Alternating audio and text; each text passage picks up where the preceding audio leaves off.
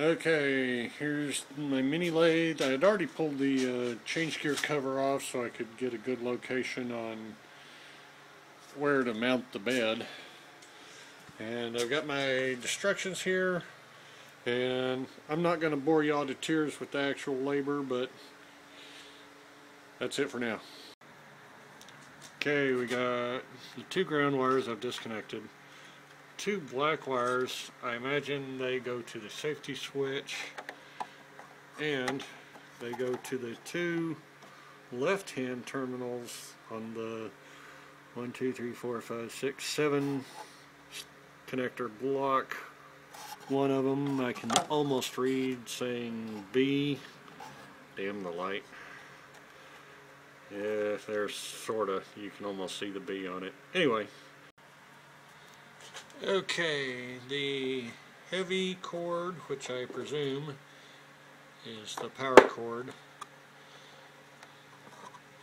goes to the main power switch.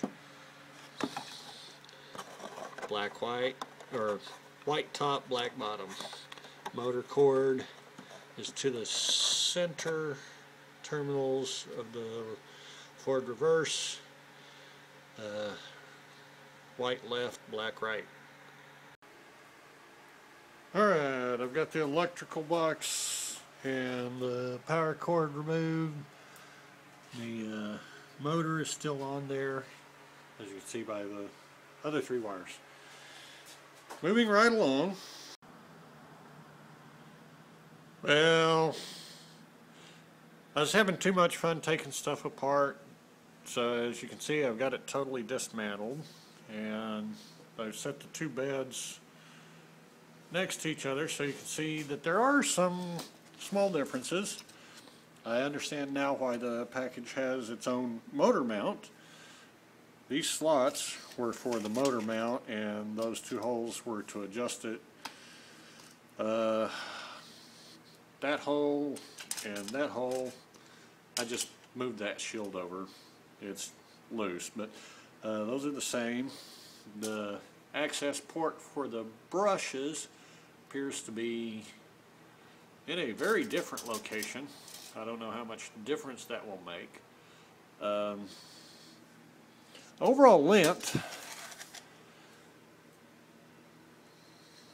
this one is 21 inches, 27 and a quarter, but the important thing is the bedway there's 20 inches, 26 and a quarter. So basically, it's uh, six and a quarter inches longer. And now the real fun begins. And I will probably try to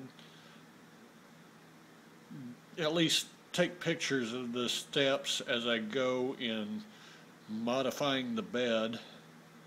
Oh yeah, one other thing. This uh, adjustment screw for the change gears, which was screwed in right there. I did find a hole, but as you can see, it's a lot bigger, so I'm not sure if this is going to be used at all. I'll find out.